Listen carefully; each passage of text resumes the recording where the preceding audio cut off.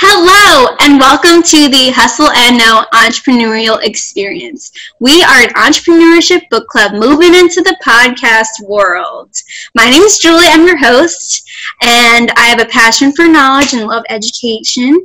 And joining us today, we have Joseph Warren, co owner of Financial Planning HQ, and then we also got Shawn Townley, who entrepreneur, consultant, speaker, and geek.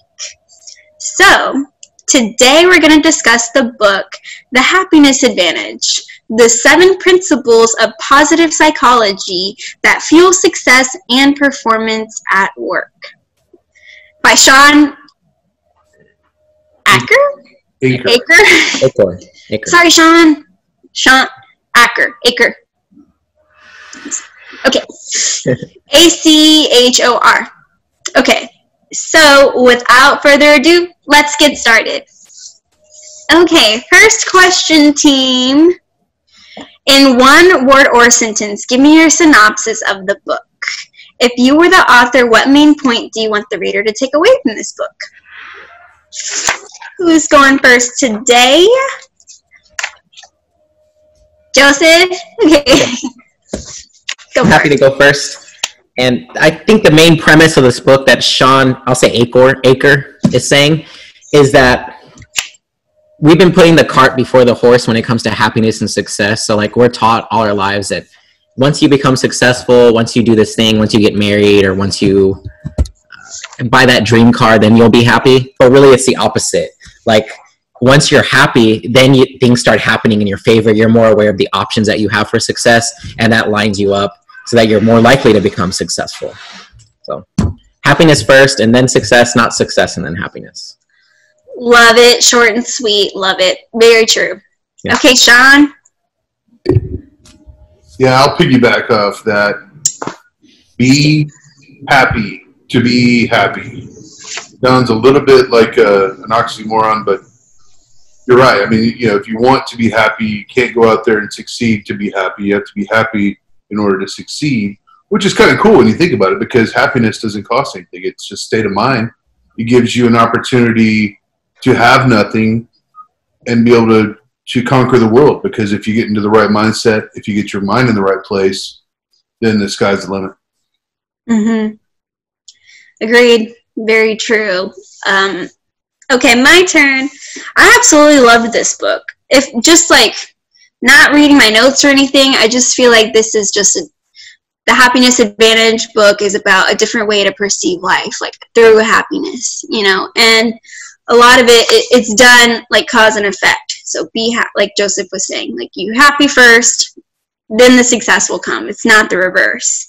So, um, and I think also the goal of this book he mentioned is there's a lot of inspirational books out there, you know, um, but you know it could just be mumbo jumbo. You know, this book is based off of scientific study and research and proven principles and concepts. So it's literally saying like this book is proven like happiness works. Like it's not mumbo jumbo. So and that way is described in seven different principles, which is take my handy dandy notes out.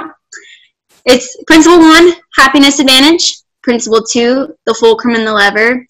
Principle three, the Tetris effect. And we'll go into a few of these that are good as the discussion happens. Tetris. Um, principle four, falling up, not down. Principle five, the Zorro, Zorro circle.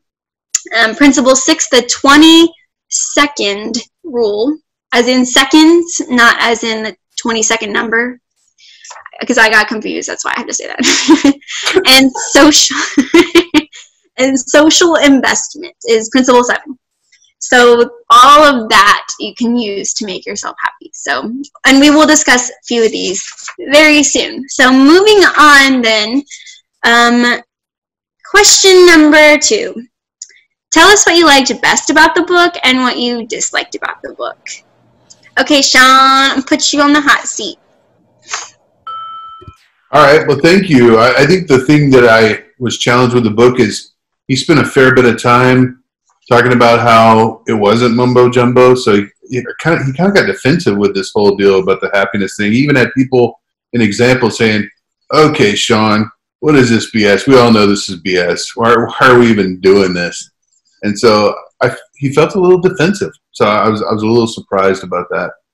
But my favorite part of the book was the 20 second rule. I think this is one that we've heard in different flavors over the time where if you're going to do something, do it for 20 seconds or make it 20 seconds easier, like playing guitar, mm-hmm. which the example he was using. And so I need to start playing guitar more. So maybe that hit home. And the other cool thing is he spells his name the right way. S H A W N. Okay, anything that you disliked, or just the fact that he was defensive? He was kind of whiny sometimes. Yes, defending his book. It, just, it was not. It was it's scientific, scientific mumbo jumbo. I disagree with that. I think he was just stating a fact because that's what most people are going to say as he gave examples. He did all these different seminars on the happiness advantage, and almost every single time people were like, ah, this is crap. So I think he was just laying that out because he's like, I know what you're thinking. You think this is crap, but it's not.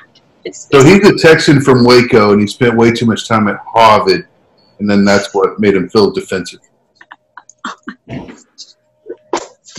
I don't know about that, but okay, to each to own.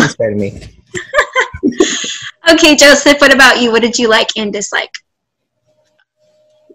I agree 100% with the premise of the book. I think it can be a life changing book if you really follow it. That's but what I really liked, what really drew me in was the humor. It was really good use of humor, and that kept me engaged the whole time. And I especially was like cracking up when he would talk trash about Yale. I don't know why that I just found that so funny when he just kept talking trash about Yale. Um, but it's real good practical advice. And if I had to say one thing to improve in this book, or one thing that I didn't like, was that he named things in a way that isn't memorable.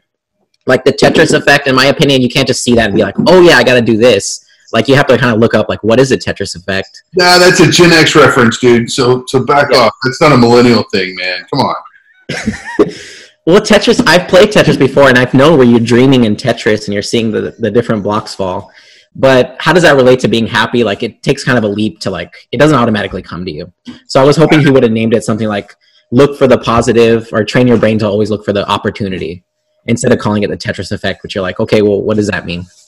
Okay yeah. I mean i'm gonna piggyback off of that. I yeah. have to. Because this is actually something that i was gonna say that i disagreed with um, that not that i disliked but it kind of turned me around. So for those of you who don't know what the Tetris effect is, because I mean, I'm not a Gen Z, so I didn't know what it was. but um, basically, they do all these studies where if you're constantly playing Tetris, like over and over and over. Basically, if you do anything for a constant amount of hours, and this study was Tetris, you start seeing it everywhere in your life. That's all you can focus on. So you'll be you can be at the grocery store and be like, how can I stack these boxes to make it perfectly fit? Like it just like blows your mind. It's all that you can focus on.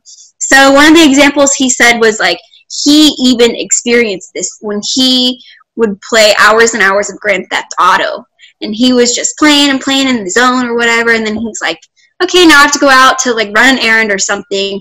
And I guess he was walking outside and he was like, oh, what's the fastest way that I can get there to my location? Then he sees a cop car and he's like, let me just go and steal this cop car. And he said he literally put his hand on the door knob and was like, about to open it and try to steal it and then it like clicked like i'm not in a video game you know like i'm in real life like yeah. so the point is because like I've watched documentaries in the past, like I don't know if y'all have seen Bowling for Columbine, the one about the shooting, um, the school shootings, and you know they always they try to pinpoint it on video games, like oh it's these bad video games that are getting these people to do all this. Like this might be a hot take. I don't know if I like. I think though I thought there had been studies to proven that that's not possible. Like video games don't have any correlation towards shootings. But this kind of makes it seem like, yeah, it is. If they play it that much, they're in that mindset. They're just going to go, you know, steal a cop car and go crazy, shoot everybody, shoot everyone. So that's my point where I kind of I disagree with that concept. But like he said, there's been studies on it, and I think the point the point of him saying the Tetris effect, the useful part of it, is the fact that like we can get in the habit of essentially scanning like negative things around you. So for example, like if your job is like a lawyer or like something where or where you're trained to like read edits in papers, like you're trying you're trained to spot out the mistakes, right? Okay, well, if you're doing that constant hours and hours a day, then you're going to be doing that in your real life. You're going to be like, okay, kid, like my child, you're messing up on X, Y, Z, because you're only focusing on the negative. Mm-hmm. So his point is, is that you can train your mind to focus on the positive instead. So that is a good thing that comes out of that. yeah. I was thinking about when I was listening to that part of the book, I was like, oh my God, I could never do that. Just be someone who sits around and just edits things all day long. That would be mind numbing. Special person. Yeah. That's why, yeah. I thought too, like, I could never be someone that, like, I've liked watching crime shows, but I can never actually deal with, like, death every day. Like, that would just be too negative for me. I couldn't do it. But some people can, you know, separate that part. Or can they? okay. So, something that I did like was the fact, which I have heard this before, and I feel like I do apply this generally, but something I do want to mention to the audience is that um, we can't change our reality, but we can change the way our brains process the world, um, which in turn changes how we react to it.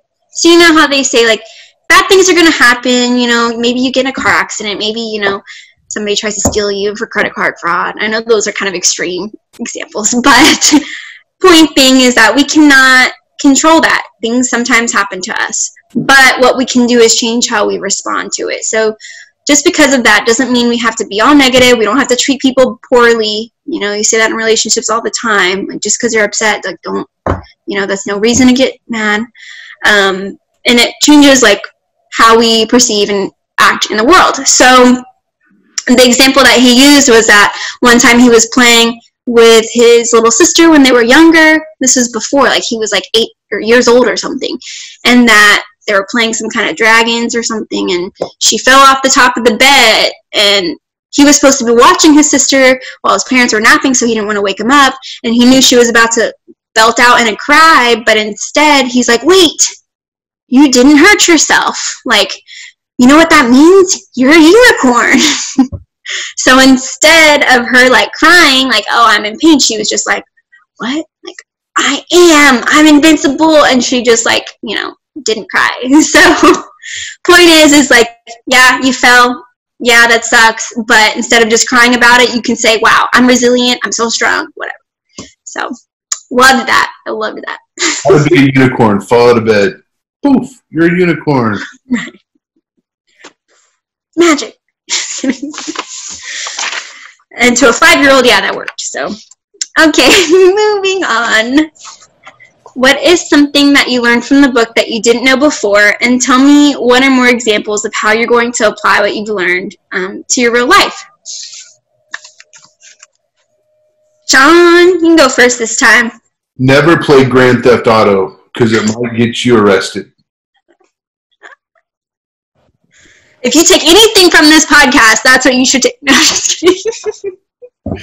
I don't know if it was if I learned anything in this book that was something I didn't know before because I think it came from different flavors and used some different examples from, from, from other books. But I think making things easier to do and forming the habits around it, kind of making those micro habits. He didn't use those words to play guitar instead of just getting onto yourself trying to use willpower to do things using the 20 second rule. The 20 second rule is what I'm taking away from this today. But my son plays Grand Theft Auto, and now I'm really scared because he's going to college, and I think he still plays Grand Theft Auto, and hope he doesn't get arrested. Buy him a different video game that's not as violent. Oh, All of them are first person shooters now. I mean, no one plays Pac Man or Tetris. Tetris seems so, you know, passe, I guess, but I, I come from a world of 2D video games, you know, Pac Man. Pong. Droids, those yeah. types of deals we didn't have. Although I did play some Duke Nukem back in the old days, so. Yeah. Mm-hmm. Well, maybe you can let him play the shooter games, but just don't let him have an actual gun. There you go, problem solved. We live in Texas. Come on. He's gotta. He's gotta have a gun. That's what it goes without saying. There's, there's two things every boy in Texas probably has: a pocket knife and a gun. Even if it's a Daisy Red Ryder. so, Okay, well then when he doesn't notice, switch his gun with a water gun. uh, Nerf guns are almost just as bad. And the airsoft guns, oh my god. Have you ever been hit with an airsoft gun? no. It hurts. It's not pleasant. Okay. Okay, but it's not going to kill anybody. It's just going to hurt a little bit. just don't play that much video games before you get that mind. Yeah. There you go. Moral of the story: only play for like an hour a day or something. I, I think, you know, we always called that the blue car syndrome, you know, when you go out and you buy a blue car, and then all of a sudden you see all the other blue cars that are out there, and you're like, wow, Mhm. there was any blue cars out there until I got mine, and now they're everywhere. Pattern He recognition. does. He does mention that. It's because that's what we're focusing on. Yeah. Mhm. Okay, Joseph. What about you? There's two things in this book I'm kind of like torn between. I love the idea of falling up. I love that idea of like looking for what's the best option when things are going wrong. Like what's what exactly can I do to make things better? So recently I had a flat tire and I had to buy a bunch of new rims and I was like, how can I make some good out of this? Because I hate spending money on things like that. And it was a lot, it was kind of a lot of money. And but I kind of thought about it and I negotiated the price down, so I was kind of like using falling up there and i also was able to like use it like as motivation to start building passive income so so, so i didn't have to worry so much about like depleting my emergency funds.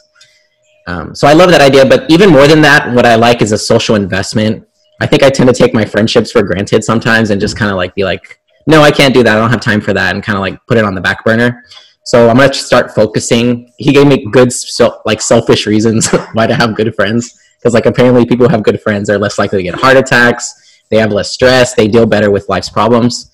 Um, and that made sense to me so i think i'm going to start like not being in a rush when it comes to friends and like really taking time to focus on what's going on with them and i think that'll make me happier and not for selfish reasons but more likely to uh, be more resilient That sounds totally selfish. I'm to have better friends to benefit me.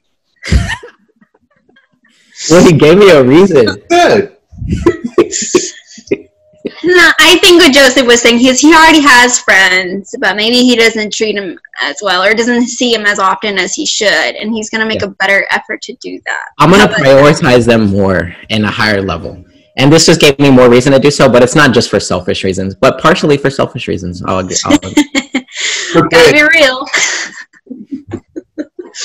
okay, that's awesome. I love that. Okay, so for me, um, I was also gonna say the 20 second rule, um, but that was kind of like my second one. The first thing I really wanted to say, um, so what 20 I'm- seconds ago.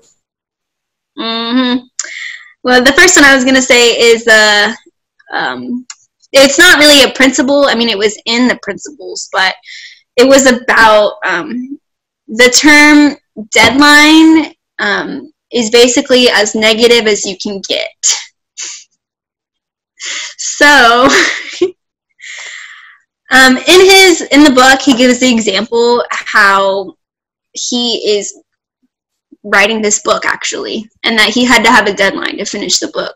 So essentially it became a drag. You know he was trying to procrastinate and avoid it because to him he considered it as like in a negative connota- connotation. Yeah. So like you know even though he loved to do it he loves writing he loves talking about this it's his life's work he loves reading and educating all that but writing it on paper ended up becoming work in his mind so he didn't want to do it which is why he says like deadlines as negative as you can get. So he says he ignored the constraint and focused only on the intrinsic value of the task at hand instead of simply when it was due.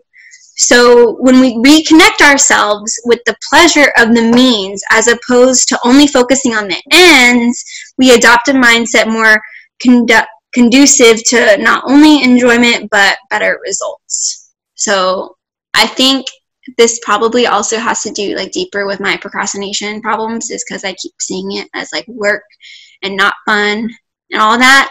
But in reality, like I love doing this. I love reading. I love talking about it. Like it's not like I don't like doing what we're doing, but the social media aspect, I keep seeing like work, all that work.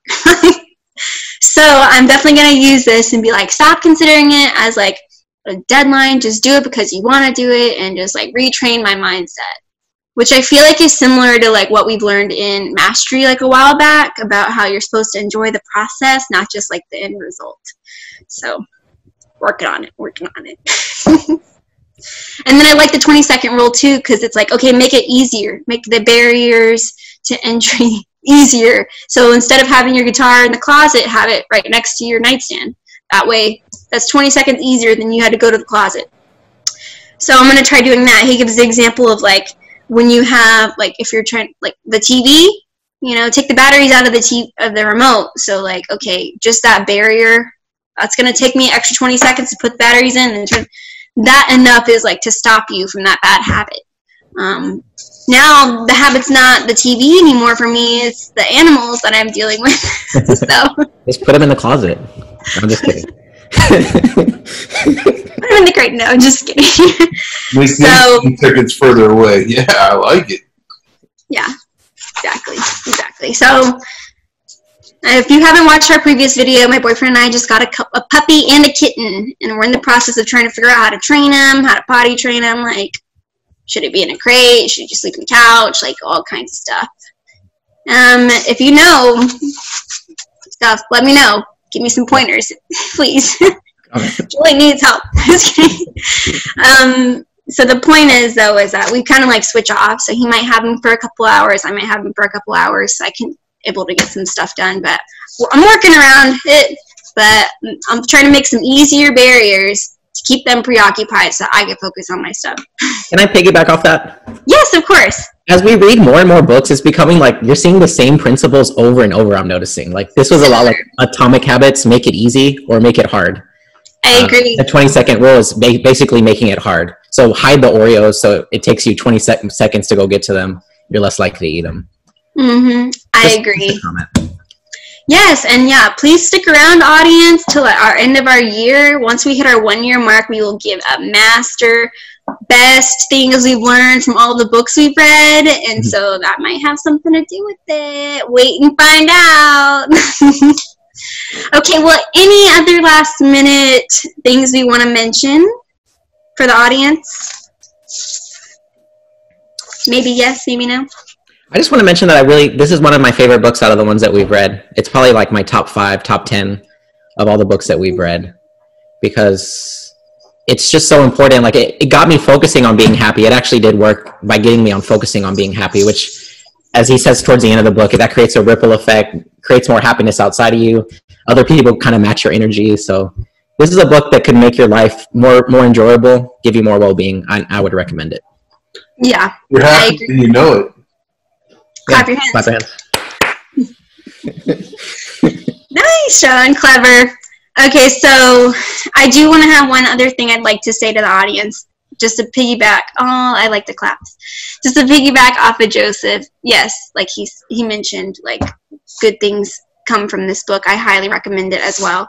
Um, and so one more thing that I want to mention is for the professionals out there. Um, when you focus on positive, you profit on happiness, gratitude, and optimism. So, expecting more positive outcomes will make them more likely to arise. So, um, this is very important when you have an employee. It's a, I'm missing it on my notes here and somewhere, but it's basically the more you encourage your employees or you believe in them, the more successful they're going to be, especially if they know that you believe in them. Mm-hmm. So if you think, oh, this guy's not that smart, I'm gonna have to micromanage him. Okay, well then you're gonna bring that into effect. You are gonna have to micromanage them because mm-hmm. you're manifesting that, basically.